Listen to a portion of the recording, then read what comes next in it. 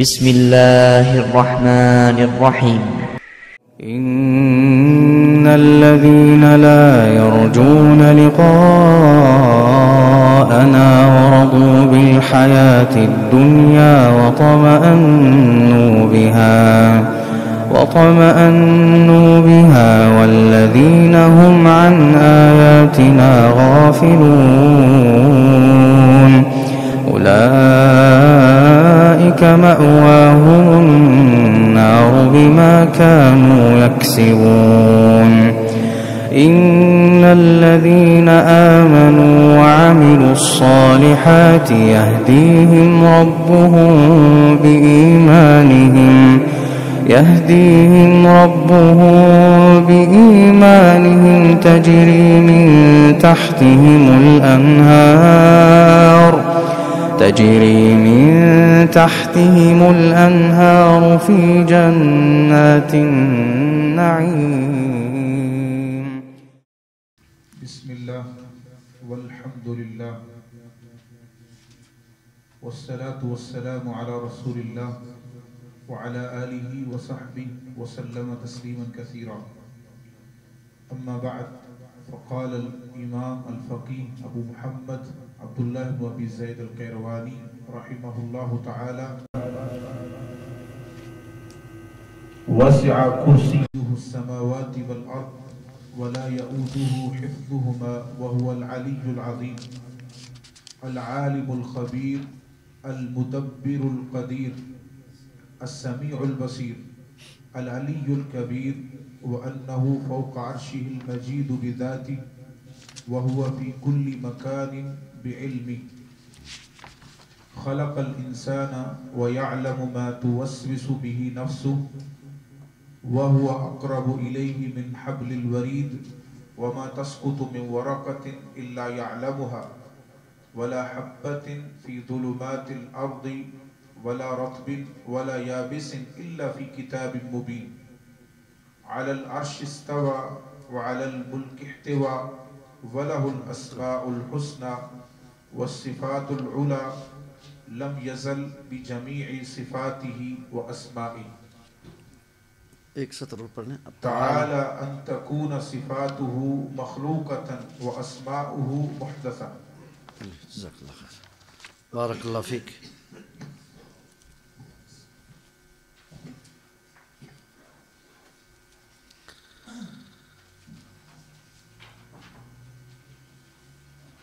الحمد لله رب العالمين والصلاة والسلام على أشرف الأنبياء والمرسلين نبينا محمد وعلى آله وصحبه أجمعين أما بعد اللہ رب العزت کی توفیق سے شرح مقدمت رسالت ابن ابی زید القیروانی کا درس اللہ کے فضل سے جاری ہیں۔ تو پچھلے درس میں اللہ رب العزت کے علم اور اسی طرح اللہ سبحانہ و تعالیٰ کے اولیت اور آخریت ان کا کوئی انتہا نہیں، اولیت کا کوئی ابتدا نہیں۔ اس حوالے سے اللہ رب العزت کے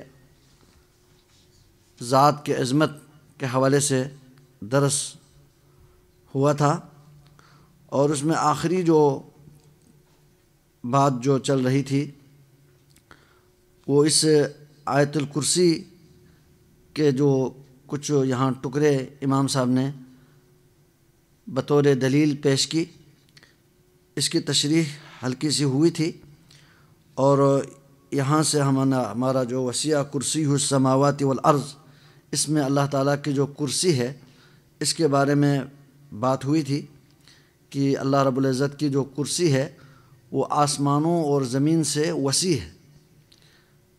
اس کی حدیث میں دو مثال آئی ہیں۔ ایک کرسی آسمانوں اور زمین کے مقابلے میں سات درہم کی طرح ہیں، سکوں کی طرح ہے، جو کسی ڈال کے اندر ہوں۔ یا ترس کے ایک وضاحت یہ بھی ہوئی تھی کہ وہ ایک میدان کو بھی ترس کہتے ہیں، گول میدان کو۔ اسی سے، اسی طرح اور ایک تفسیر آئی ہے سلف سے کہ یا بعض نے اس کو مرفوع بھی بیان کیا ہے کہ کرسی اور آسمان اور زمین کی مثال بھی اسی طرح آئی ہے، جس طرح عرش اور کرسی کی مثال آئی ہے۔ کرسی کی مثال آئی ہے کہ اتنے وسیع ہیں آسمانوں اور زمین سے جس طرح میدان میں ایک سکہ ہو اور کرسی اور عرش کے مقابلے میں عرش اتنے وسیع ہے تو معلوم ہوا آسمانوں اور زمین سے جس طرح اللہ نے فرمایا، وسیع کرسی ہو سماوات الارض اللہ کی جو کرسی ہے، آسمانوں اور زمین سے بھی وسیع ہے وسیع ہے، بہت زیادہ وسیع ہے۔ اور کرسی اور عرش کی نسبت بھی آئی ہے، کرسی اور عرش عرش اللہ کے سب سے عظیم مخلوق ہے۔ سب سے عظیم مخلوق اللہ کا عرش ہے۔ اور عرش اور کرسی کی بھی نسبت اسی طرح آئی ہے کہ عرش اتنا وسیع ہے، اتنا بڑا ہے کہ کرسی اس کے مقابلے میں بہت ہی چھوٹی مخلوق ہے کہ جس طرح ایک چٹیل میدان کے اندر ایک حلقہ یا ایک سکہ چھلا ہو، اس کی نسبت کرسی ہے اور جو باقی میدان ہے وہ عرش ہے۔ عرش بہت ہی اللہ کی بڑی مخلوق ہے۔ اور کرسی کے بارے میں یہ بتایا تھا پچھلے دفعہ ایک خلاصہ کے طور پر میں بتا رہا ہوں کہ کرسی کے بارے میں سب سے جو صحیح ترین جو تفسیر ہے، حضرت عبداللہ بن عباس رضی اللہ عنہما سے مروی ہیں، وہ موضع القدمین ہے۔ قدموں کے، اللہ کے قدموں کے جگہ ہے۔ بار قدم ثابت ہے۔ جس طرح اللہ کے شاعن شان ہے، جس طرح اس کی کیفیت حقیقت کے بارے میں ہمیں علم نہیں ہے بار قدمین آیا ہے۔ دونوں قدموں کا جو نا جگہ ہے، کرسی۔ اور اللہ رب العالمین عرش پہ مشتوی ہے۔ تو عرش اللہ کا سب سے عظیم مخلوق ہے۔ تو یہاں فرمایا، وسیع کرسی ہو سماوات والارض۔ اور یہاں میں نے یہ بھی بتایا تھا کہ کرسی میں بعض نے اس کا علم سے تعبیر کی یعنی کرسی سے مراد اللہ کا علم ہے۔ یہ بات جو ہے نا میں نے کہا تھا کہ یہ اس آیت الکرسی کے سیاق میں یہ تفسیر ججتی نہیں ہے۔ کیونکہ اللہ کا علم تو پہلے بھی آیا ہے، بعد میں بھی آیا ہے۔ تو پھر وہ ولا یحیطون اس سے اسی سے پہلے، اسی ٹکڑے سے پہلے ولا یحیطون بشیء من علم آیت الکرسی میں اللہ کے علم کا کوئی احاطہ نہیں کر سکتے۔ اللہ کا علم تو بہت ہی وسیع ہے۔ وہ اللہ کا علم تو آسمانوں اور زمین سے محیط ہے، کہنا بنتا ہی نہیں۔ لیکن کرسی چونکہ ایک چیز ہے جو ہر ہے، وہ وسیع ہے۔ یعنی وہ آسمانوں زمین سے وسیع ہے۔ باقی اللہ کا علم، اللہ کی قدرت، وہ تو ہر چیز سے وسیع ہے۔ وسیع کل شعین رحمت و علم اللہ کے جو نا علم اور رحمت تو ہر چیز سے وسیع ہے، ہر چیز کے اوپر پھیلا ہوا ہے۔ تو یہ علم جو ہے نا اسی طرح قدرت، بعض نے جو قدرت کی تفسیر کی ہے، وہ بھی یہاں ججتی نہیں ہے۔ اور اللہ کے علم کے حوالے سے جو حضرت سعید بن جبیر سے ایک مروی ہے کہ ان سے ایک تفسیر ہے، لیکن سعید بن جبیر والی جو روایت ہے نا وہ ضعیف ہے۔ اس کے اندر ایک راوی ہے، اس کو علماء نے کہا ہے صدوق یہم تو یہ راوی ضعیف ہے۔ اس لیے جو نا یہ روایت ضعیف ہے۔ باقی سب سے صحیح ترین روایت وہ کیا ہے، عبداللہ بن عباس رضی اللہ عنہما کی ہے، وہ موضوع القدمین ہے۔ باقی قدرت قدرت کی بھی تفسیر نہیں ہو سکتی، کیونکہ قدرت بھی اللہ کے اللہ اللہ ان اللہ علیہ کل شین قدیر۔ وہ تو آسمانوں اور زمین سے کوئی اس کی نسبت نہیں ہے۔ یہاں تو وسیع کرسی السماوات والا آسمانوں اور زمین کی نسبت کی ہے، اس سے بھی وسیع کہا۔ تو اس سے مراد وہ اللہ کی کرسی ہے جو موضوع القدمین ہے۔ وہ کس طرح ہے؟ وہ اللہ کو اس کا علم اللہ تبارک و تعالیٰ کہاں ہے اور اس کی کیفیت، اس کی حقیقت، جس طرح اللہ کے دوسرے اسماء و صفات اور صفات کے بارے میں ہمیں اس کی کیفیت، حقیقت کا علم نہیں ہے، وہ ہم اللہ کا سپرد کریں گے۔ وسیع کرسی السماواتی والارض ولا یعودہ حفظہما یہاں فرمایا کہ اللہ سبحانہ و تعالیٰ کو ان آسمانوں اور زمین کی حفاظت اللہ کو تھکاتی نہیں ہے۔ بلکہ اللہ رب العالمین خود آسمانوں اور زمین کی حفاظت کرنے والے ہیں۔ ان اللہ یمسک السماوات والارض ان تزولا۔ سورہ فاتر ایک نمبر اکتالیس میں اللہ فرماتے ہیں، اللہ سبحانہ تعالیٰ خود آسمانوں اور زمین کی حفاظت کرنے والے ہیں۔ خود اللہ نے ان کو تھمائے ہوئے ہیں۔ ان تزولا، کہ یہ زائل نہ ہو، ہٹ نہ جائیں، یہ گر نہ جائیں، اپنے جگہ سے ہٹ نہ جائیں۔ اللہ تعالیٰ خود اللہ کے حکم سے یہ کیا ہے؟ آسمان اور زمین قائم ہے۔ ومن آیات ہی ان تقوم السماوات والارض باذن اللہ کے اجازت سے آسمان اور زمین قائم اور دائم ہے۔ تو اللہ تبارک و تعالیٰ کو اس کی حفاظت تھکاتی نہیں، بلکہ خود اللہ تبارک و تعالیٰ ان کی حفاظت کرنے والے ہیں۔ ولا یعود حفظ پھر فرمایا وہ العلی العظیم آیت الکرسی۔ بہت ہی عظیم آیت ہے۔ اعظم و آیت فی القرآن۔ سب سے قرآن مجید میں سب سے عظیم آیت۔ کیوں سب سے عظیم ہے؟ کیونکہ اس میں اس عظیم ذات کا تعارف ہے۔ شروع سے لے کر آپ آخر تک آئے نا، اس کو پڑھیں، اس کی تفسیر پڑھیں، اس کے مفہوم پڑھیں، تو اللہ رب العالمین کا تعارف ہے۔ اللہ کے اس کے معرفت ہمیں اسی آیت الکرسی کے ذریعے ہمیں حاصل ہو رہی ہے۔ تو آخر میں آیت الکرسی کے آخر میں فرمایا وہ العلی العظیم اللہ رب العالمین، العلی ہے، العظیم ہے۔ یہ اللہ تبارک و تعالیٰ کے بہت عظیم اسماء حسنہ میں سے ہیں۔ العلی ہے۔ اب العلی کی اگر ہم تفسیر کریں تو شاید ہمیں جو نا، اگر صحیح حق ادا کریں تو اس کے لیے ہمیں کافی ٹائم چاہیے۔ لیکن اختصار مطلوب ہے۔ العلی، اللہ رب العالمین کے ایک نام العلی ہے۔ علی مانے بلند۔ بلند و بالا۔ بہت بلند۔ عظیم ذات۔ العظیم مانے سب سے بڑی ذات یا بڑا۔ العظیم، سب سے بڑا۔ اس میں دونوں میں مبالغہ ہے۔ العظیم مانے بہت زیادہ بڑا۔ العلی مانے بہت بلند و بالا۔ بلند۔ العلی اسی طرح سب حسم رب کل اعلیٰ العلیٰ اسی طرح وہ الکبیر المتعال المتعال۔ یہ اسماء حسنہ، تین، چار اللہ کے اسماء حسنہ ہیں۔ ان سے اللہ رب العالمین کی صفت علو ثابت ہوتی ہے۔ صفت علو ثابت ہوتی ہے یہ بہت اہم ایک ٹاپک ہے کہ بہت سارے ایسے مسلمانوں میں سے ایسے نظریہ رکھنے والے ہیں جو اللہ رب العالمین کو کہ جو صفت علو کی نفی کرتے ہیں۔ اللہ اوپر ہے، اس کی نفی کرتے ہیں۔ یہ بہت ہی خطرناک بات ہے۔ جبکہ اللہ رب العالمین کے اسماء حسنہ کے صفا یعنی یہ کہ اہم، اس کے اندر یہ ہے کہ اللہ کے ہر نام کے اندر صفت متضمن ہوتی ہے۔ صفت متضمن ہوتی ہے، صفت ثابت ہو رہی ہوتی ہے۔ تو العلی کے اندر، اسی طرح العلیٰ کے اندر، المتعال کے اندر، ان کے اندر جو ہے نا اللہ رب العالمین کے صفت علو، اللہ تعالیٰ سب سے بلند و بالا ہے۔ یہ یہ صفت ثابت ہو رہی ہے۔ تو اللہ رب العالمین کے جو صفت علو کے بارے میں بہت سارے لوگ ایسے ہیں کہ جو اللہ کو اوپر نہیں مانتے، بلکہ کہتے ہیں اللہ تعالیٰ ہر جگہ پہ موجود ہے۔ اوپر یعنی اس کے لیے اللہ تعالیٰ کے لیے جہت یعنی تسلیم کرنے میں ان کے لیے بہت بڑی ایک شبہات میں وہ مبتلا ہے۔ وہ کہتے ہیں کہ اوپر کہہ دیں تو پھر وہ جہد لازم آ جائے گی، پھر وہ ایک مکان لازم آئے گا، پھر جو ہے نا وہ مخلوق مشابہت ہوگی۔ یہ ساری بیماریاں اور شبہات جو ہے نا وہ جب مخلوق سے مشا تشبیح ان کے ذہن میں آتے ہیں نا، تو تب ادھر سے وہ جو ہے نا مسئلہ خراب ہو جاتا ہے۔ اللہ رب العالمین کے جس طرح فرمایا نا لے سکم اس لیے اللہ کی طرف کوئی نہیں ہے، اللہ کے کوئی مسیل نہیں ہے، لیکن وہ سمیع البصیر سمیع بھی ہے، بصیر بھی ہے۔ تو بندہ بھی سمیع بھی ہے، بصیر بھی، انشاءاللہ اس کی آگے اسی آیت کی تفسیر آ رہی ہے۔ لیکن یہاں جو العلی میں اللہ تبارک و تعالیٰ سب سے بلند و بالا ہے، اوپر۔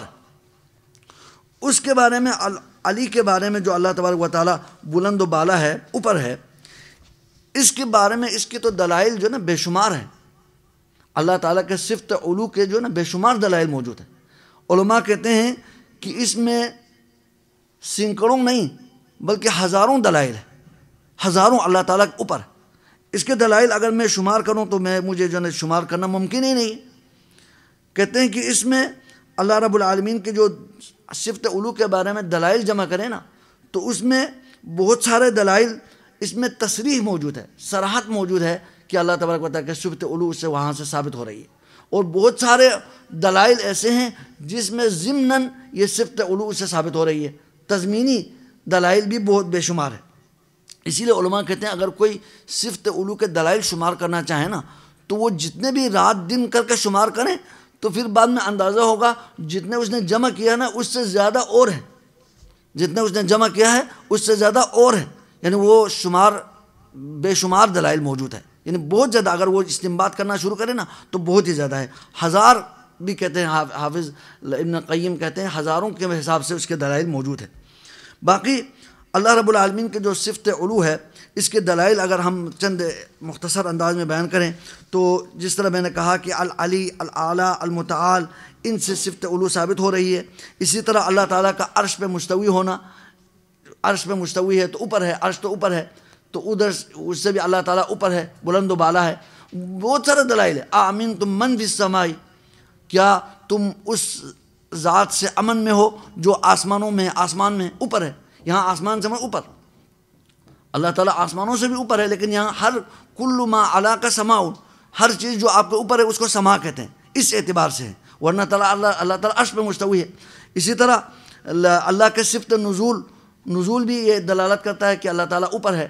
اور اسی طرح اعمال کا اللہ تعالیٰ کی طرف جانا، اٹھ کے جانا۔ اس، جس طرح قرآن مجید میں اللہ نے فرمایا نا الہی یس عد الکلم الطیب۔ پاک کلمات اللہ کی طرف چڑھ کے جاتی ہے، پاک کلمات۔ اسی طرح والعمل الصالح و یرفع اور عمل صالح اللہ تعالیٰ کی طرف اللہ اٹھاتے ہیں اس کو۔ یعنی اوپر، اٹھاتے ہیں، سمجھ، اوپر جاتے ہیں۔ اللہ کدھر ہے، اوپر ہے۔ تو سب عمل صالح اللہ کی طرف اوپر جاتے ہیں۔ اسی طرح حدیث میں آیا، ولا یس ادو اللہ الطیب حدیث میں ہے وہ جو جس میں صدقہ کرنے کے بارے میں ہے، کہ اللہ تعالیٰ جو ہے نا، صرف پاک پاک صدقہ پاکزہ حلال اللہ قبول کرتے ہیں۔ اس اس حدیث کے اندر یہ ٹکڑا بھی ہے، ولا یس ادو اللہ الطیب اللہ کی طرف صرف پاکزہ عمل اور پاکزہ چیز چڑھتی ہے۔ چڑھنا یعنی یہ چڑھنے سے مت کیا ہے؟ اللہ اوپر ہے۔ اسی طرح وہ مشہور حدیث ہے جس میں فرمایا کہ اللہ، نبی علیہ السلاۃ السلام نے فرمایا کہ تمہارے یعنی نگرانی کرنے کے لیے فرشتے آتے ہیں۔ وہ رات کے فرشتے آتے ہیں، دن کے فرشتے آتے ہیں۔ وہ رات کے فرشتے وہ جو نا عصر کے ٹائم کٹ آ جاتے ہیں، پہنچ جاتے ہیں۔ پھر وہ دن کے فرشتے عصر پڑھ کر اوپر چڑھ اوپر چڑھتے ہیں۔ ہاں؟ اوپر چڑھتے ہیں۔ وہاں یہ لفظ ہے۔ سما یا عروج الجین باتو فیکم۔ وہ چڑھتے ہیں جو تم میں جو انہوں نے جنہوں نے رات گزاری ہے۔ یعنی وہ دن کے فرشتے صبح کے وقت چڑھتے ہیں، اوپر چڑھتے ہیں۔ تو چڑھنے کا لفظ آیا اوپر چڑھنے کا۔ تو یہ تو بہت ہی بہت ہی زیادہ ہے۔ معراج، قصہ معراج، کس کو اس سے، کون مسلمان ہے جو اس سے نابلد ہو؟ اللہ سبحانہ و تعالیٰ براق، نبی علیہ السلاۃ والسلام، اللہ، حضرت جبریل کے میت میں براق پہ سوار ہو کے اوپر چڑھے تھے۔ آسمانوں کے دروازے کھول کر اوپر گئے تھے۔ عرش پہ اللہ تعالیٰ اس کی ملاقات ہوئی، ہم کلام ہوئے۔ یہ سارے بہت ہی زیادہ اس میں بے شمار دلائل موجود ہے تو صفت علو بہت ہی ایک مسلمہ، ایک اللہ رب العالمین کی صفت ہے۔ اس کے انکار کی کوئی گنجائش نہیں ہے۔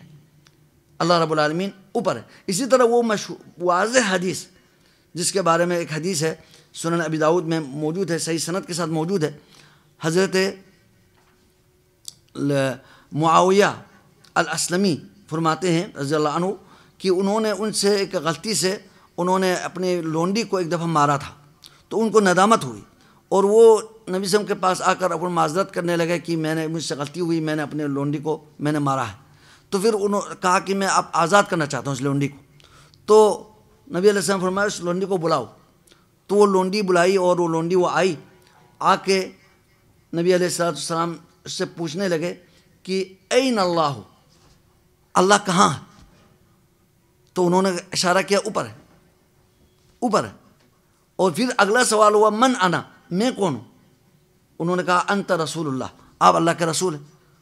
تو نبی علیہ السلام نے فرمایا آتقھا فنحا مؤمنہ۔ اس کو آزاد کر، آپ اسے آزاد کر، کیونکہ یہ مومنہ ہے۔ تو یہاں انہوں نے اللہ اوپر ہے۔ تو یہ حقیقی، صحیح عقیدہ ہے۔ جو نبی علیہ السلاۃ والسلام نے اسی کے اوپر ان کو، ان کے ایمان کی گواہی تھی تو عین اللہ کا یہ ہو سکتا ہے سوال۔ آج بہت سارے جو لوگ جو ہے نا، وہ اس سوال سے اعتراض کرتے ہیں کہ اللہ کہاں ہے، نہ پوچھو۔ جبکہ اللہ کے نبی علیہ السلام سے بڑھ کر اللہ رب العالمین کے بارے میں کوئی جاننے والا ہے؟ کوئی نہیں ہے۔ سب سے زیادہ جاننے والا اللہ رب العزت اپنے بارے میں، اللہ کے اپنی ذات ہے۔ اللہ کی ذات اللہ کو، خود اللہ کے بارے میں اس کا علم ہے اللہ کے پاس، اور اس کے بعد اللہ کے انبیاء کو ہے۔ تو انہوں نے خود سوال کیا تھا۔ تو اللہ رب العالمین اوپر ہے۔ آسمانوں آسمانوں سے بھی، آسمانوں میں سے مرد اوپر ہے۔ اللہ تعالیٰ عرش پہ مستوی ہے۔ اور علو کی علماء کہتے ہیں، علو کی تین قسمیں۔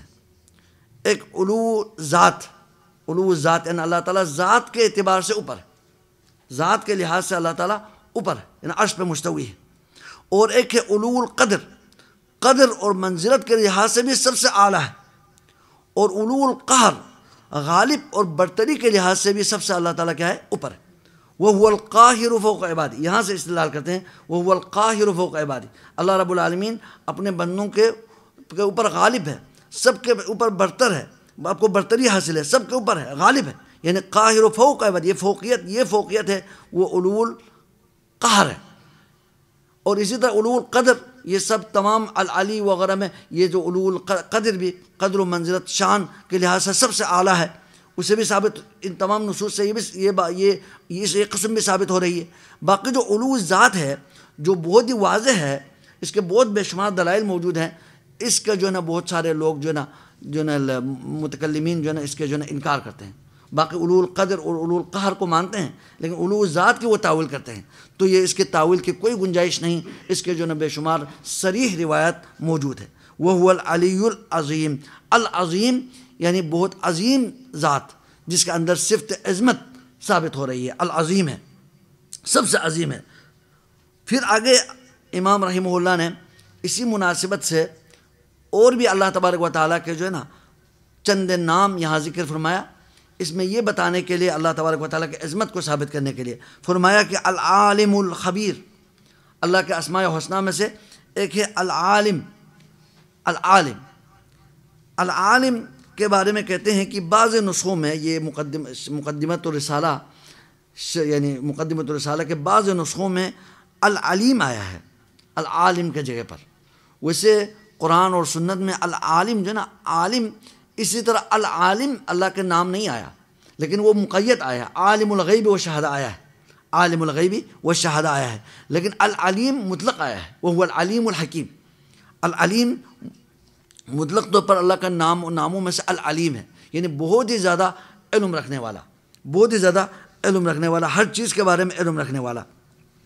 تو کہتے ہیں کہ بعض شراح کہتے ہیں العلیم زیادہ اصح ہے، کیونکہ بعض نسخوں میں العلیم ہے، اس لیے العلیم العالم سے زیادہ یعنی یہاں سیاق و سباق میں زیادہ مناسبت بھی ہے اور زیادہ نسخوں میں بھی، کچھ نسخوں میں ہے تو پھر یہ زیادہ کہتے ہیں صحیح ہے۔ العلیم الخبیر. الخبیر مانے بہت زیادہ خبر رکھنے والا، ہر چیز کے بارے میں خبر رکھنے والا. الخبیر. العلیم، الخبیر تقریباً مترادف ہے، لیکن الخبیر میں عموم پایا جاتا ہے. اسی طرح المدبر. یہاں اللہ کے ناموں میں سے یہاں ابن ابی زید القیروانی رحمہ اللہ نے المدبر کا لفظ ذکر کیا ہے. لیکن علماء نے، بعض شراح نے اس میں بحث کی ہے کہ المدبر اسی طرح کے جو نا اللہ تعالیٰ کے اسماء حسنہ میں سے المدبر کہیں کتاب و سنت میں بعض کا خیال یہ ہے کہ ثابت نہیں ہے۔ میں نے بھی کوشش کی تھی تو مجھے اس طرح کے نس المدبر سے مجھے نہیں ملا۔ بہر یدبر العمرہ اللہ تعالیٰ جو نا تمام معاملات کی تدبیر کرتے ہیں، نظام چلانے والا، تدبیر کرنے والا اللہ ہے۔ معنی کے لحاظ سے ٹھیک ہے۔ مدبر ہے، سب کے تدبیر کرنے والا وہی ذات ہے۔ یدبر الامر من السماء الى الارض۔ یدبر یدبر الامر من الارض الى السماء۔ یا تو اس طرح تدبیر کا معنی جو ہے نا موجود ہے، لیکن جو ہے نا مدبر کے ساتھ جو ہے نا یہ بعض علماء کہتے ہیں کہ اس میں اس طرح کے جو نام ثابت نہیں ہے۔ بہت سارے انہوں نے کہا ہے کہ یدبر الامر سے المدبر بھی صحیح ہے، لیکن بعض کا خیال یہ ہے کہ المدبر میں یہ چونکہ اس طرح کے جو کتاب و سنت میں اس طرح کے نام کے شخص شغے میں یہ ثابت نہیں ہے یا وارد نہیں ہوا۔ اسی طرح اللہ کے ناموں میں سے القدیر، اللہ کے ناموں میں سے القدیر ہے یعنی بہت زیادہ قدرت رکھنے والا۔ القدیر مانے بہت زیادہ قدرت رکھنے والا۔ یعنی عظیم القدرہ، یہ مبالغہ کا سگا ہے۔ یعنی اللہ رب العالمین کو کوئی چیز عاجز نہیں کر سکتی۔ اللہ تعالیٰ ہر چیز پر قدرت رکھنے والا ہے۔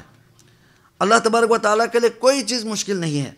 انما امرہ اذا اراد شیئا ان یقول له کن فیکون، کہ اللہ رب العالمین جس چیز کا بھی، جس کا بھی اللہ ارادہ کرے، کرنے کا ارادہ کرے، اس کے لیے بس کن کہنے کا دیر ہے، وہ فیکون، وہ واقع واقع ہو جاتا ہے، وہ یعنی واقع ہو جاتا ہے۔ تو اللہ رب العالمین جو ہے نا، اس اللہ کے اوپر کوئی چیز مشکل نہیں، لا یعجزہ شیء فی السماوات ولا فی الارض۔ اللہ کو کوئی چیز عاجز کرنے والی نہیں ہے۔ تو اللہ کے جو عظیم ناموں میں سے القدیر ہے، جو کہ ہر چیز کے اوپر قدرت رکھنے والا، ان اللہ علی کل شیء قدیر، ہر چیز پر قدرت رکھنے والا ہے۔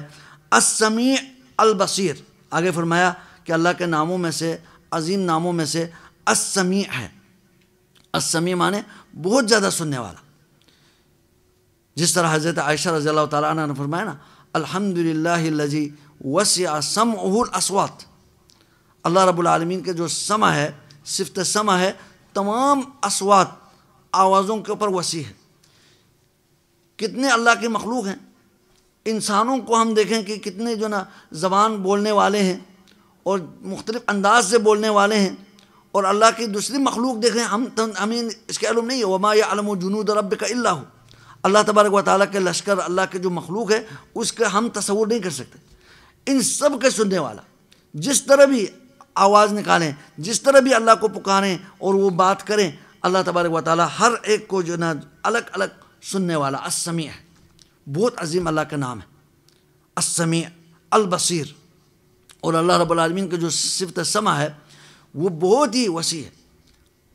حضرت عائشہ رضی اللہ تعالیٰ عنہ فرماتی ہے کہ ایک دفعہ نبی علیہ السلاۃ والسلام میرے حجرے میں تشریف فرمات ہے اور اس وقت ایک عورت آئی، خولہ بنت ثعلبہ وہ اپنے خاون سے شکوہ کر رہی تھی، شکایت کر رہی تھی کہ خاون نے اس کے ساتھ زہار کیا تھا۔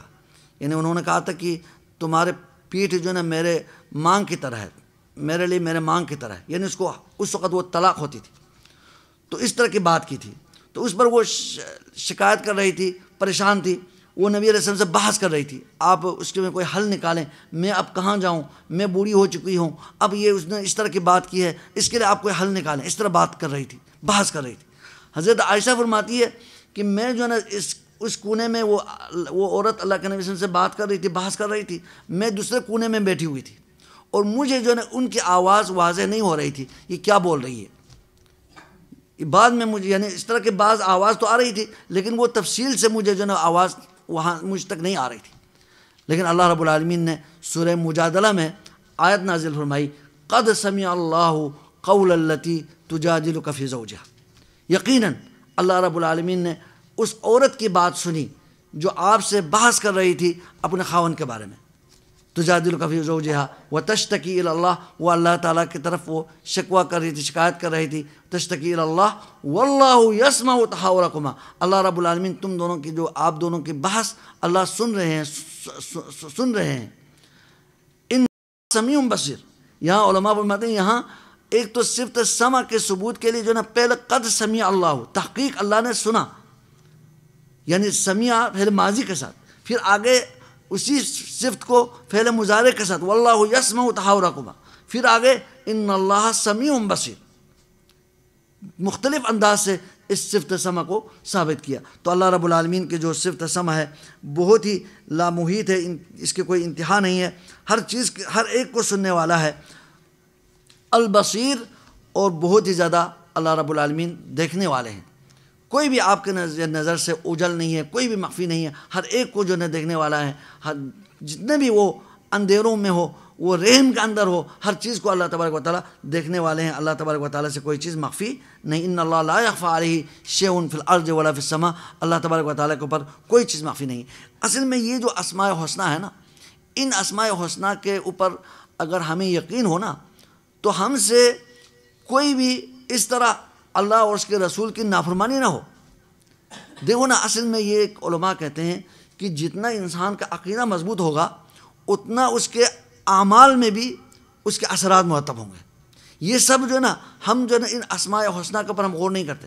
ہم عقیدے کے اوپر، عقیدے میں ہمارے اندر پختگی نہیں ہے، یا وہ یقین اور تصور ہمارے نہیں ہے اگر کسی کو یہ یقین ہونا کہ اللہ تعالیٰ اسمی ہے، سب سننے والا ہے، تو کیا اس کے اوپر یقین ہو؟ اور ہمارے دلوں کے اندر یہ عقیدہ راسخ ہو اور ہم ہمیشہ اس کو ہمیں ہمارے ذہن میں رکھے، اللہ تعالیٰ اسمی ہے، سب سننے والا ہے۔ تو کیا ہماری زبان سے کوئی اس طرح کی کوئی بات نکل سکتی ہے جو اللہ اللہ اس کے رسول کی نافرمانی والی ہو؟ البصیر ہے، سب دیکھنے والا ہے، ہر چیز کو دیکھنے والا ہے۔ تو کیا ہمارے جو ہے نا ہم اس طرح کی حرکت کر سکتے ہیں جو اللہ تعالیٰ کی ناراضگی ہو؟ اللہ دیکھ رہے ہیں۔ اللہ تعالیٰ سے ہمارے کوئی بھی حرکت مخفی نہیں ہے۔ تو یہ اسماء حسنہ اس کے جو نا اندر بڑے فقہ ہے اس کے عمل اعمال کے اوپر اس کے اثرات مرتب ہوتے ہیں۔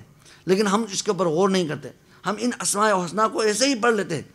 اس لیے جو نا وہ حدیث جس میں نبی علیہ السلام نے فرمایا کہ اللہ تعالیٰ کے جو ننانوے نام جو شمار کریں وہ جنت میں جائے گا۔ اس شمار سے مراد جو ہے نا صرف وہ الفاظ میں نہیں ہے۔ اس سے مراد ایک عقیدہ ہمارا اس کے اندر مستحکم ہو۔ اس اس نام سے کیا مراد ہے؟ اس کے اندر اللہ کی کیا صرف متضمن ہے؟ اور یہ صرف ہمارے ہمیں ہمیں سے کیا تقاضا کرتی ہے؟ ہمارے لیے اس کے بارے میں کیا حقوق ہے؟ ہم جو نا اس کے بارے میں اس کے اس کے جو نا وجہ سے ہمارے اندر کیا اصلاح ہونی چاہیے؟ ہمیں اس کا اللہ تعالیٰ کی عظمت ہمارے سامنے آنی چاہیے، اس طرح کے ہم جو نا، جو فائدہ جو ہمیں اٹھانا چاہیے، وہ ہم اس سے تھوڑا سا دور ہو جاتے ہیں، غافل ہو جاتے ہیں۔ اس لیے احسا کا جو اصل جو اعلیٰ درجہ ہے نا، وہ یاد بھی کرنا، اس کو پڑھنا اور اس کے اندر جو اللہ کے اسماء حسنہ ہے، ان کے صفات جو ہر نام کے اندر صفت ہے، یہ ہمارے دلوں کے اندر بٹھانا اور اسی طرح ہم اس کو اپنے جو نا عملی زندگی میں اس کے اثرات مرتب ہونا۔ یہ سب اس کے اندر کیا ہے، شامل ہے۔ تو اسمی البصیر ہے، پھر اس کے بعد پھر فرمایا العلی۔ اللہ تبارک و تعالیٰ بلند و بالا ہے، سب سے اعلیٰ ہے، العلی ہے، الکبیر ہے، بہت ہی بڑا ہے، اس میں صفت کبریا اللہ تعالیٰ کی صفت کبریا سب سے بڑا ہے، اللہ اکبر، اللہ تبارک و تعالیٰ تو سب سے بڑا ہے۔ اللہ تعالیٰ سے کوئی بڑا کوئی ہے ہی نہیں ہے۔ لا احد اکبر منہ جل وعلا، اللہ تعالیٰ سے کوئی بڑا کوئی نہیں ہے۔ سب سے بڑا اللہ تعالیٰ ہے، الکبیر سے اللہ تعالیٰ کے صفت کبریا ثابت ہوتی ہے۔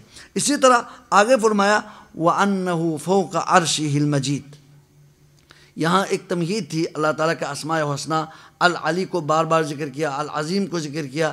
تو ان میں سے آگے جا کے امام رحمہ اللہ ایک اہم ایک عقیدہ، اہل سنت والجماعت کا عقیدہ بیان کر رہے ہیں کہ اللہ سبحانہ و تعالیٰ فوق عرشی المجید، اپنے عرش کے اوپر جو کہ المجید ہے، بہت ہی شان والا عرش ہے، اس کے اوپر اللہ تعالیٰ مستوی ہے۔ فوق عرشی ایک تو ہم نے پہلے بتایا نا العلی سے صفت علو ثابت ثابت ہوتی ہے۔ اور صفت علو میں اگر مزید آگے جائیں، تفصیل میں جائیں، قرآن حدیث کا مطالعہ کریں تو اللہ تبارک و تعالیٰ ذات کے اعتبار سے، یہاں جو ہے نا بذات ہی، کیونکہ بہت سارے متکلمین تعویل کرنے والے اور یہ فرق ضالہ اس میں تعویل کرتے ہیں کہ وہ عرش پہ اللہ تعالیٰ کے مستوی ہے سے مراد، وہ کہتے ہیں قدرت کے لحاظ سے ہے، علم کے لحاظ سے ہے، اس طرح تعویل کرتے ہیں۔ تو یہاں اس لیے اعلی سنت جو ہے نا ائمہ کرام، جو محدثین، یہ اس کی تصراحت کرتے ہیں۔ کیونکہ کتاب و سنت کا جو نا وہ دلائل کی روشنی میں یہی عقیدہ ہمارے لیے بالکل واضح ہوتا ہے۔ وہ ان فوق عرش المجید اللہ رب العالمین اپنے عرش کے اوپر مستوی ہے، اس کے اوپر ہے بذات ہی اپنے ذات کے ساتھ۔ ذات کے لحاظ سے اللہ تعالیٰ عرش پہ مستوی ہے۔ اب عرش پہ مستوی ہونے کے لحاظ سے کتاب و سنت میں اگر مطالعہ کرے تو قرآن مجید میں، جو کہ ہمارا عقیدے کا سرچشمہ ہے۔ ہم نے عقیدہ کہاں سے سیکھنا ہے؟ قرآن سے سیکھنا ہے۔ اللہ کے اپنے کلام سے سیکھنا ہے۔ قرآن میں اللہ رب العالمین نے عرش پہ مستوی ہونے کے حوالے سے سات جگہوں پہ تذکرہ فرمایا، سات جگہوں پہ، ایک جگہ پہ نہیں، سات جگہوں پہ۔ ایک تو سورہ آراف میں، ان ربکم اللہ خلق السماوات والارض فی ستت ایام ثم استوى على العرش. اللہ رب العالمین نے آسمانوں اور زمین کو پیدا کیا چھ دن میں۔ پھر اللہ تعالیٰ عرش پہ مستوی ہوئے، ثم استوى على العرش۔ عرش پہ اللہ تعالیٰ مستوی ہوئے۔ اسی طرح سورہ یونس آیت نمبر تین میں اسی طرح سورہ ارزعت آیت نمبر دو میں اسی طرح سورہ تہا الرحمن و العرش استوا سب میں العرش استوا ثم استوا علی العرش، سب میں یہی اسلوب آیا ہے۔ کچھ کوئی اسلوب کسی کہیں جا کے فرق نہیں آیا۔ سب میں علی العرش استوا یا ثم استوا علی العرش، اسی طرح سورہ الفرقان اور اسی طرح سورہ السجدہ، آیت نمبر چار، اسی طرح آخری قرآن کے آخری صورتوں میں سے سورہ حدید آیت نمبر چار۔ ان سب میں تفصیل سے اللہ سبحانہ و تعالیٰ نے اپنے عرش پہ مستوی ہونے کو ثابت کیا یعنی ذات کے لحاظ سے۔ اللہ تبارک و تعالیٰ ذات کے لحاظ سے عرش پہ مستوی ہے۔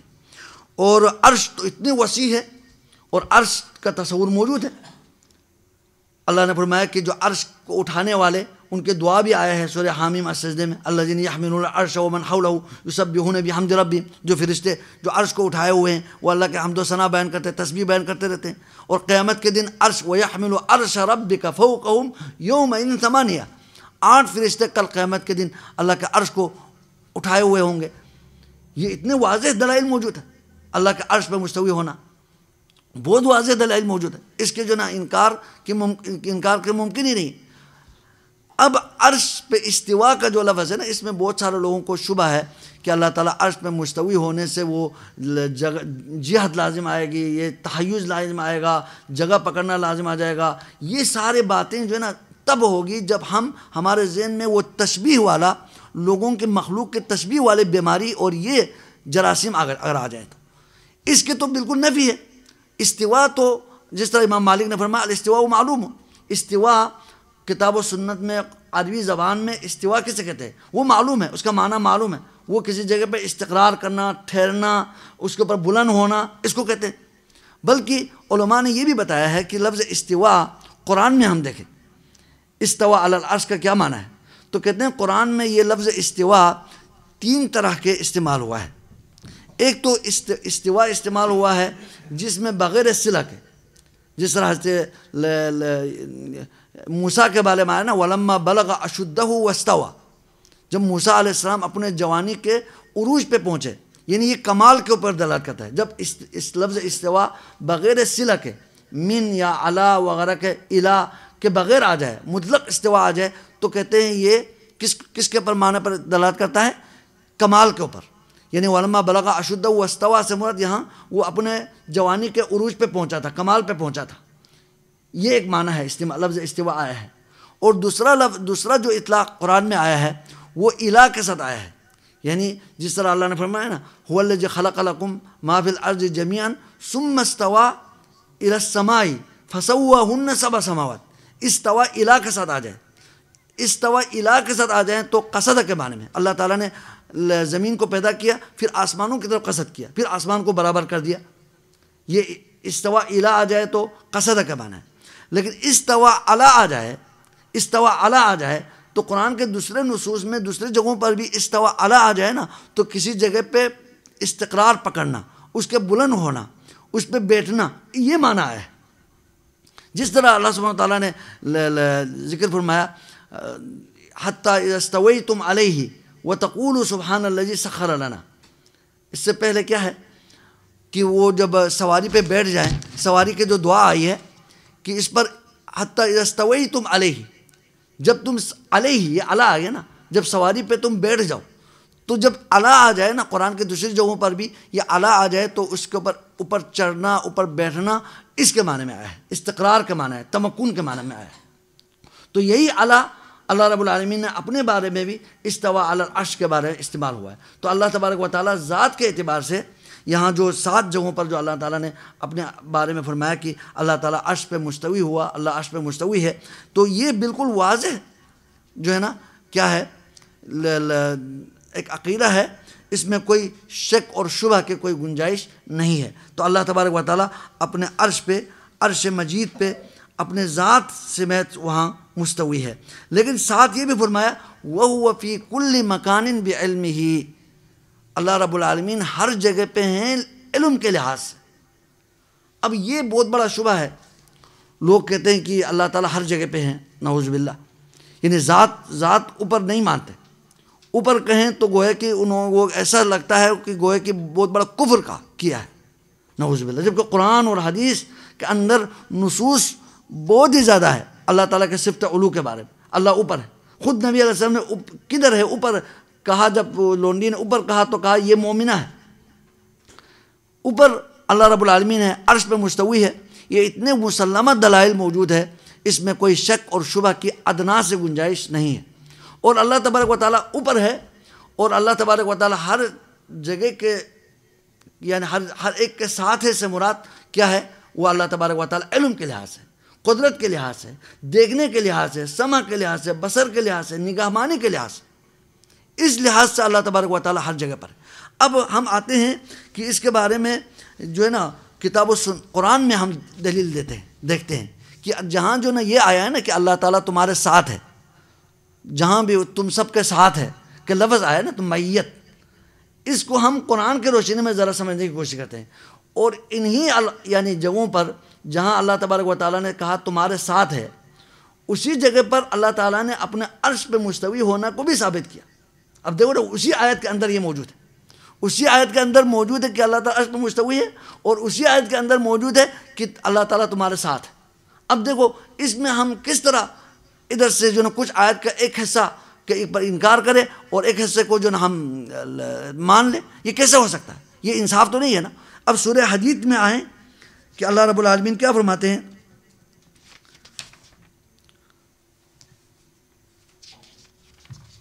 سورہ حدید میں فرمایا نا الذی خلق السماوات والارض فی ستت ایام. وہی اللہ ہے جس نے آسمانوں اور زمین کو پیدا فرمایا چھ دن میں، چھ دنوں میں۔ پھر ثم استوى علی العرش، پھر عرش پر مستوی ہوئے۔ پھر آگے سب کے سب علم کے بارے میں، اللہ کے علم کے بارے میں فرما رہے ہیں۔ یا علم ما یلیج فی الارض، جو زمین کے اندر جو داخل ہو رہا ہے، اس کے بارے میں اللہ جانتے ہیں۔ وما یخرج منها جو زمین سے جو چیزیں نکلتی ہے اس کے بارے میں بھی اللہ تعالیٰ جانتے ہیں، اللہ کا علم بیان کریں، علم بیان ہو رہا ہے۔ وما ينزل من السماء، جو آسمان سے جو چیزیں نازل ہو رہی ہے اس کے بارے میں بھی اللہ جان رہے ہیں۔ وما يعرج فيها، جو آسمان کی طرف جو چیزیں چڑھ رہی ہے وہ بھی اللہ تعالیٰ جانتے ہیں۔ یہ یعلم یعلم کے اوپر عطف ہے۔ اب آگے کیا فرمایا؟ وهو معكم اينما كنتم۔ جہاں بھی تم ہو، اللہ تعالیٰ تمہارے ساتھ ہے۔ تو یہاں کیا بتانا چاہ رہے ہیں؟ اللہ تعالیٰ ذات کے لحاظ سے عرش پہ مشتوی ہے تو پہلے آ گیا۔ اب وہ وہ معاکم اینما کنتم، یہاں علم کے تذکرے کے اندر یہ فرما رہے ہیں۔ اور آخر آیت کو ختم بھی کس طرح کیا؟ کس طرح کیا؟ فرمایا کہ واللہ بما تعملون بصیر۔ جو تم عمل کرتے ہیں اللہ تعالیٰ اس کو دیکھنے والے خوب دیکھنے والے بصر، صفت بصر۔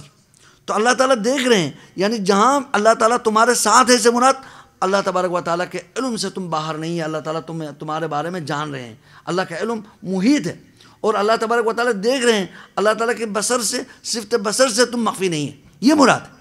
اب آیت میں اتنی وضاحت کے ساتھ ہے کہ وہ وہ معاکم سے مراد، علم کے لحاظ سے، بصر کے لحاظ سے، قدرت کے لحاظ سے یہ چیزیں مراد ہے اور اللہ تبارک و تعالیٰ یہ اختلاط یعنی ہمارے ساتھ ہے۔ نعوذ باللہ ہر جگہ پر ہے۔ یہ تو بہت ہی خطرناک اور بہت گندا عقیدہ ہے۔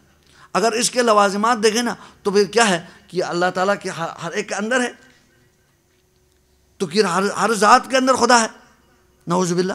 تو مخلوق خالق میں کیا فرق ہوا؟ اور اسی طرح اللہ تعالیٰ، نعوذ باللہ، اللہ تعالیٰ تعالی اللہ عما یقول الظالمون، جو ظالم کہتے ہیں، اللہ تعالیٰ اس سے بہت بلند و بالا ہے کہ اللہ تعالیٰ گندی جگہوں پر بھی ہے، نعوذ باللہ۔ یہ تو ہم کہہ ہی نہیں سکتے، زبان پہ نہیں لا سکتے۔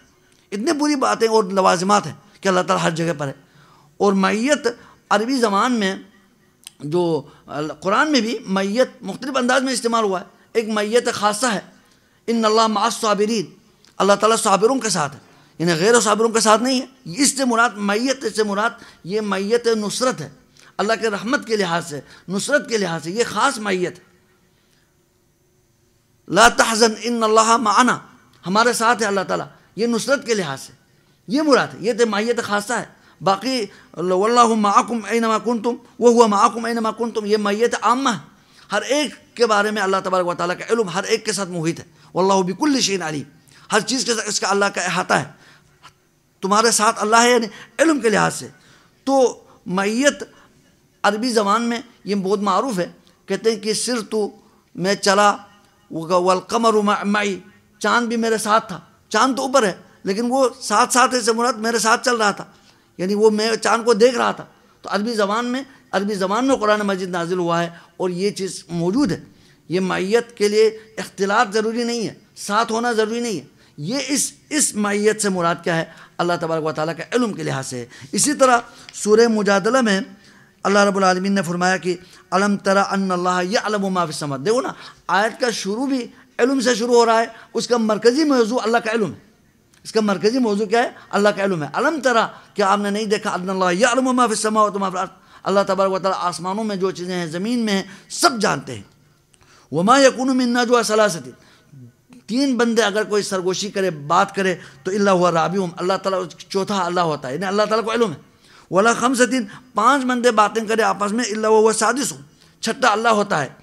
ولا ادنا من ذلك ولا اکثر، اس سے کم ہو، زیادہ ہو، سب میں جو ہے نا اللہ وہ ہوا معہم این مقام۔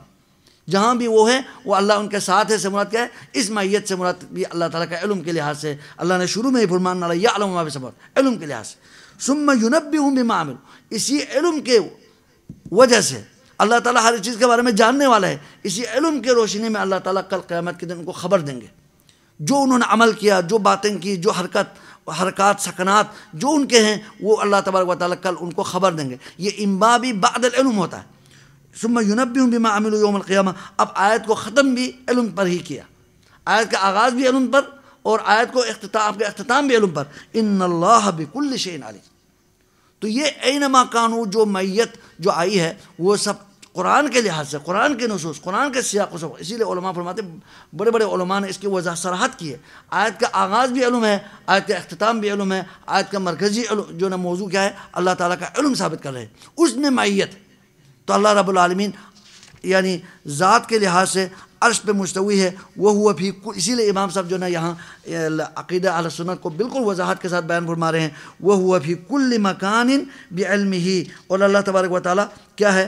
ہر ایک کے ساتھ ہے، تو اس سے مراد اللہ تبارک و تعالیٰ علم کے مطابق ہے۔ اور آگے مزید اللہ تبارک و تعالیٰ کا علم، خلق الانسان۔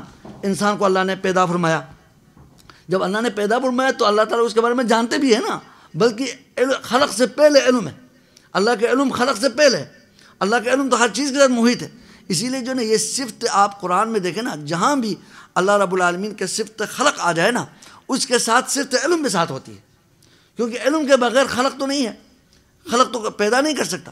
جس کے پاس علم نہیں ہے، وہ پیدا کر ہی نہیں سکتا۔ کیسے پیدا کر سکتا اس کے پاس علم نہیں۔ اسی لیے اللہ نے فرمایا اللہ یا علم من خلقہ کیا وہ ذات نہیں جانتے جس نے پیدا بھی کیا؟ جس نے پیدا بھی کیا، وہ نہیں جانتے۔ یعنی خلق یہ علم کے یعنی علم کے لیے یعنی خلق کے لیے علم لازمی چیز ہے۔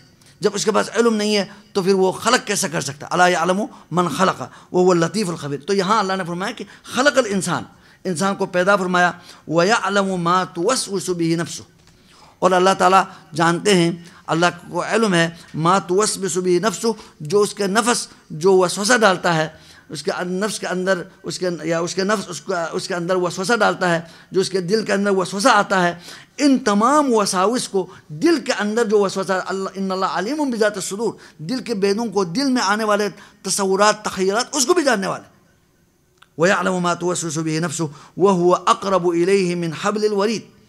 وهو أقرب يسر قاف كي آيات كده فسارك والله القرآن ما فرما ونعلم ما توسوس به نفسه ونحن أقرب إليه من حبل الوريد. الله فرما نحن أقرب إليه من حبل الوريد. هم إنسان كي شهرك سبي قريب. جو گردن کا جو رکھ ہے جو دل کے ساتھ جڑا ہوتا ہے یہ کٹ جائے نا جو انسان مر جاتا ہے تو اس شہرک سے بھی اللہ تعالیٰ قریب ہے. یعنی اللہ علم کے لحاظ اللہ کے علم کے لحاظ سے یہاں ورنہ علم سے یہاں سے واضح ہوتا ہے کہ جو قربت ہے یہاں، وہ اللہ تعالیٰ کے ذات کے لحاظ سے نہیں، نعوذ باللہ، بلکہ اللہ تبارک و تعالیٰ کا علم کے لحاظ سے۔ اللہ تبارک و تعالیٰ کو ہر چیز کا علم ہے۔ اسی لیے آگے فرمایا نا، آگے مزید آیات کے اشارہ کیا۔ جس سورہ آراف میں ہے کہ وَيَعْلَمُ مَا فِي الْبَرِّ وَالْبَحْرِ اللہ تعالیٰ جا کے علم اتنے محیط ہے، جو سمندر میں ہے، جو خشکیوں میں ہے، جو غاروں میں ہے ہمیں تو غاروں کا اس کا تصور ہی نہیں ہے۔ ہمارے ذہن میں بھی نہیں آتا کتنے جو نا اللہ تعالیٰ کے جو نا وسیع اور عریض اللہ کے جو مخلوق یعنی یہ اس کائنات اللہ تعالیٰ نے جو پھیلائے ہوئے ہیں اور اس میں سمندر اور خشکی کتنے وسیع اور عریض جو جگہ ہیں، ہمیں اس کا تصور ہی نہیں ہے۔ وہ عالم وما فی البر والبحر وما تسقط من ورقت ایک پتہ بھی گرتا نہیں، ہلتا نہیں اللہ علم مگر اللہ تعالیٰ کو اس کے بارے میں علم ہے۔ اللہ اس کے بارے میں جانتے ہیں۔ ولا حبت ایک دانہ ایک دانہ فی ظلمات الارض زمین کے اندھیروں میں، غاروں میں۔ جس کے تو ہمیں تصور ہی نہیں، کتنے غار ہیں، کتنے پہاڑ ہیں، کتنے اس کے اندر غار اندھیرے ہیں۔ ولا رتبن نہ کوئی جگہ جہاں وہ تر ہو، تری ہو، نمی ہو۔ ولا یابسن نہ کوئی خشک جگہ جہاں خشکی ہو۔ معمولی سی جگہ ہو اللہ فی کتاب مبین، مگر وہ کیا ہے؟ کتاب مبین میں ہے۔ یعنی اللہ تبارک و تعالیٰ کہ جو نا علم تو چھوڑو، اللہ کا علم تو ہر چیز کا محیط ہے نا۔ لیکن اللہ تبارک و تعالیٰ کے جو علم کے ساتھ ساتھ اللہ نے سب کے بارے میں جانا بھی ہے، اللہ کا علم محیط بھی ہے، اور اللہ تبارک و تعالیٰ نے قیامت تک ہونے والے تمام چیزوں کو لکھا ہوا بھی۔ لوہے محفوظ میں سب کچھ لکھا ہوا۔ تو اللہ تبارک و تعالیٰ کے صفت علم کے ساتھ اللہ تعالیٰ نے اپنے کمال علم سے ان تمام چیزوں کو اللہ تعالیٰ نے لکھا ہوا ہے۔ اللہ فی کتاب مبین، وہ لوہے محفوظ کے اندر وہ سب کچھ لکھا ہوا ہے۔ اب مزید فرمایا العرش استوا عرش پہ اللہ تعالیٰ مستوی ہوا۔ یعنی عرش پہ مستوی ہوا۔ وہ الملک احتوا اور اللہ تبارک و تعالیٰ بادشاہت پر کیا ہوئے؟ حاوی ہوئے۔ سب کے پر حاوی ہے، سب کے پر محیط۔ ہے اب یہاں جو ہے نا العرش استوا عرش میں جو نا وہ استوا کے بارے میں بہت سارے متعولین نے تعول کرنے والوں نے یہاں کہا استولا۔ یعنی اللہ تعالیٰ اس پر غالب آ گیا۔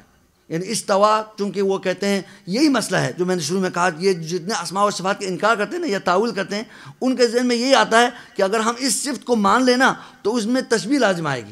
اس میں کیا آئے گی؟ تشبیح لازم آئے گی۔ اس لیے انہوں نے کہا کہ استوا اللہ تعالیٰ کو استوا اللہ عرش پہ مشتوی ہے، یہ کہہ دے تو جہد لازم آ جائے گی، جگہ یہ یہ سب یہ شکوک و شبہات تب کا ہوگا جب اس میں ہم مخلوق کے تشبیح کو ذہن میں رکھیں۔ تو اللہ تعالیٰ نے فرمایا کہ اللہ کے ساتھ کوئی بھی مشابہ نہیں ہے، لیکن اللہ تبارک و تعالیٰ کے تمام اسماء و صفات ثابت ہیں۔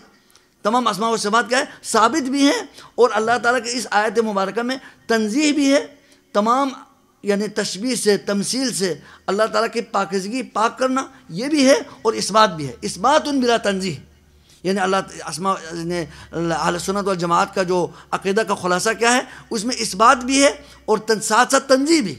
لیکن جو جن کے ذہن میں یہ آتا ہے کہ اللہ تعالیٰ کے اس میں تشبیح لازم آ جائے گی، پھر وہ جا کر کیا کرتے ہیں؟ وہ آگے جا کے اس کے انکار کرتے ہیں یا تعول کرتے ہیں۔ اب انہوں نے جو ہے نا وہ چاروں نے کہا کہ یہ استوا سے استولا ہے یعنی اللہ تعالیٰ کا عرش پر غالب آ گیا۔ یہ غالب آنے کا معنی میں جو نا، بہت سارے فاسد لوازمات ہیں۔ ان میں سے یہ بھی ہے کہ اگر عرش پہ استولا ہے، غالب آ گیا اس سے مراد کیا؟ پہلا غالب نہیں تھا۔ پہلا غالب نہیں تھا نا عزب اسی لیے جو نا کہتے ہیں، استوا جو ہے نا، استوا عربی زبان میں قرآن حدیث کو تو چھوڑو، عربی زبان میں بھی کہیں بھی جو ہے نا استوا استولا کے معنی میں پہلے جب عرب بالکل خالص عربی زبان تھی، اس وقت یہ استوا استولا کے معنی میں نہیں تھا۔ حتیٰ کہ خلیل بن احمد الفراہیدی جو بہت ہی مشہور لغوی امام ہیں، وہ کہتے ہیں کہ اس طرح کے کوئی ہے ہی نہیں ہے قرآن میں۔ یعنی قرآن میں بھی اور عربی زبان میں بھی استوا، استولا کا معنی میں آیا ہی نہیں۔ استوا کا معنی بالکل واضح ہے کہ جس کا معنی ارتفاع، اس کے اوپر چڑھنا یا اس کے اوپر یعنی استقرار، تمکن، یہ مراد ہے۔ یہی جو ہے نا، اس کا جو ہے نا مراد ہے۔ اسی لیے امام صاحب نے یہاں یہ فرمایا نا الرش استوا و الملک احتوا۔ تمام بادشاہت پر اللہ تعالیٰ حاوی ہے۔ تو اللہ تعالیٰ جو غالب ہے نا، حاوی ہے، وہ تو ہر چیز پر ہے۔ وہ تو عرش پر بھی ہے، غیر عرش پر بھی ہے۔ عرش پر بھی ہے، غیر عرش پر بھی ہے۔ تمام بادشاہت اللہ کی ہے ہر چیز اللہ کے حکم سے یعنی نظام چل رہا ہے۔ تو وہ الملک احتوا، تو احتوا جو ہے نا، وہ وہ تو ہر چیز کے اوپر ہے۔ یہ صرف عرش کے ساتھ نہیں ہے۔ عرش کے ساتھ جو ثابت ہے، وہ استوا ہے۔ وہ الملک العرش استوا، وہ الملک احتوا۔ ٹائم ہو گیا جی۔ تو میرا خیال ہے، مجھے اندازہ نہیں ہو رہا کہ کتنے ہوا ہے، لیکن بہرحال میرے اندازہ کے مطابق ٹائم پورا ہوا ہے اور یہاں ایک سٹاف بھی آیا ہے۔